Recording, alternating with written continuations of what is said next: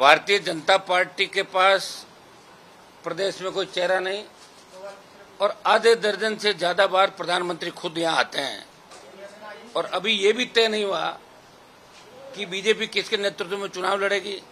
Bharatiya Janata party Rajasthan के अंदर कोई बड़ा कुछ कर पाएगी। साढ़े चार साल के अंदर बीजेपी ने कोई विपक्षी भूमिका नहीं निभाई। भारतीय जनता पार्टी साढ़े चार साल बाद विरोध करने के लिए अब सड़क पाई है।